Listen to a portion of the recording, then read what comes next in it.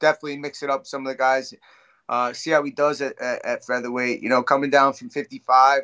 Uh, you know, it, you, you see, you got it's it's early to tell, man. You got to see how, how he does. But I know he used really to fight at 45. He actually fought Yair, if you remember, but he moved up a couple years ago, and I'm not sure why he's moving down now. I I, I don't know. You know, yeah, maybe maybe well, Volkanovski's yeah. teammate wants to move up. I don't know, but uh, it seems seems interesting that uh, uh, Hooker wants to move down now at this stage in his career.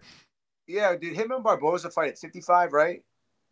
Uh, yeah, they did fight at 55. Yeah. Uh, oh, that's interesting. That yeah, I mean we'll see, man. Who knows?